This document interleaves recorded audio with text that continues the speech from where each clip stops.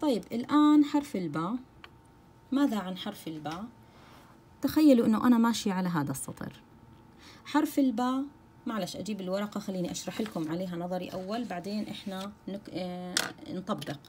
حرف الباء أول شيء بدكم تنتبهوا إنه إذا هون السطر ففي تقريبا مقدار نقطة هون نقطة فوق السطر قبل البداية من هاي الجهة. من هون هاي الجهة كأنها ألف صغيرة بالضبط كأنها ألف صغيرة. شوفوا الانحناء بسيط لا يذكر. هون الانحناء بسيط جدا جدا لا يذكر. وزايح من هون لجهة اليمين نفس الحكاية وأكثر كمان. ماشي؟ فلو بدي أحط هون خط شوفوا قديش داخلة من هون من تحت لجهة اليمين. هون في فراغ هون في فراغ تحت. بعدين من هون ببلش التفافة القلم وفي الداخل تقريبا خمس نقاط. طب خلينا نطبقها مع سوا بقلمنا أنا عم بتعمد إني أستخدم نفس القلم اللي عندكم حتى تحسوا إنه الأمور إن شاء الله طيبة مع هذه الأقلام. طيب نفس الحكاية زاوية ال... هي أنا بدي أرسم على هذا الخط مثلا ماشي؟ زاوية البداية لازم تكون نفس الزاوية اللي هي 75 يعني هيك ماشي؟ إذا حبرك كثير خففيه وارجعي. حبري هون أنا ما أتوقع إنه كثير فجيد إن شاء الله. شوفوا كيف. يا دوب يا دوب انحناء بسيطة. ومن هون برجع بدخل القلم في هذا السواد داخل السواد من هنا. ماشي؟ وبشكل بسيط كمان يعني بسيط بسيط بسيط. بعدين بصير أنزل أنزل أنزل أنزل أنزل أنزل أنزل. وألف القلم وأطلع. ماشي؟ إيش الأشياء اللي بدي ألاحظها هون؟ بدي ألاحظ إنه هون في عندي مسافة تقريبا نقطة. وهون في عندي كمان مسافة. لو أنا بدي أنزل خط مستقيم انتبهوا لها. وبالداخل في عندي لازم يكون خمس نقاط. واحد اثنان ثلاثة أربعة.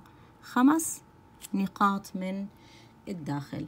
ولو أنا بدي أكمل بدي أتخيل إنه هذا طبعا انتبهوا إنه هاي الجهة أعلى من هاي الجهة بقليل هاي الجهة أعلى من هاي الجهة بقليل. ولو أنا بدي أكمل الدائرة هون بتكون دائرية بهذا الشكل. هذا الإشي ممكن يساعدني يعني بإني أنا أتخيل شكل الحرف أكثر وأكثر. إذا لو بدي أكملها دائرة بتكون بهذا الشكل. هذا بالنسبة لحرف الباء الجميل. طيب الآن حرف الباء صبايا. لو أنا بدي أكتب حرف الباء الثانية.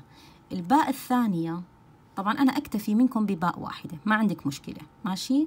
لكن لو بدك أنت حابة أنك تكتبي باء آه الثانية خلي يكون عندك بس فكرة واطلاع. شوفوا لو بدأتي هون مثلا هي آه أنا دفتري مسطر زي دفاتركم.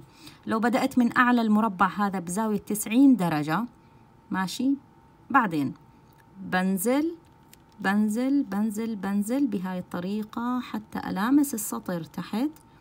بعدين ببدأ بالارتفاع والالتفاف. ماشي وبطلع أعلى أعلى أعلى.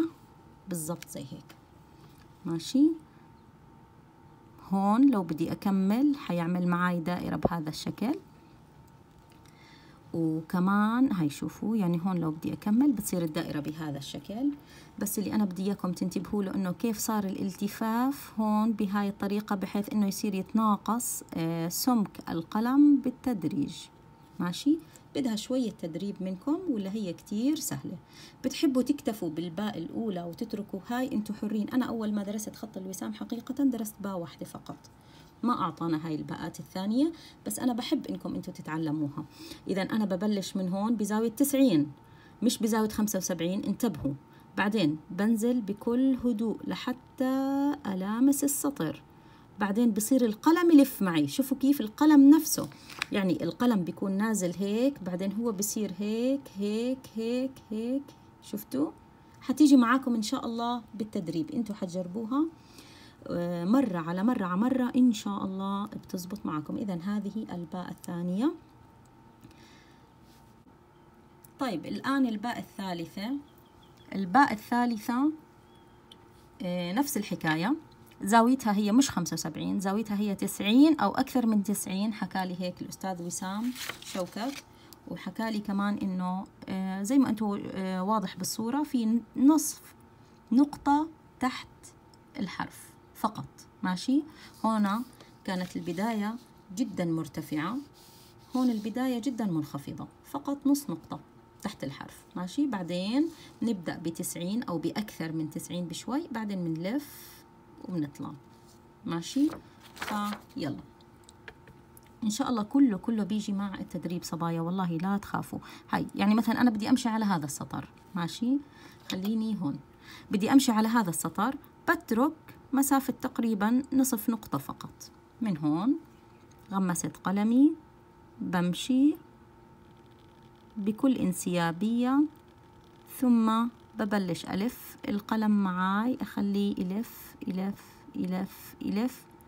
أهم شيء إني أنا أتدرب كيف أطلع النهايات آه، نظيفة. كيف أتدرب كيف أطلع النهايات من هون تكون مش عريضة. عرفتوا علي؟ لفة القلم. هاي ما إلها إلا التجربة. إن شاء الله بالتجريب رح تبدعوا صبايا. أنا متأكدة بإذن الله. بس ما تستعجلوا أعطي نفسك وقتها. يعني لو أنا بدي أكمل الدائرة حتكون الدائرة بهذا الشكل. واللي تحت الحرف هو فقط يدوب نص نقطة. ماشي؟ يدوب نصف نقطة هون اللي تحت. الحرف. هذه هي الباء الثالثة.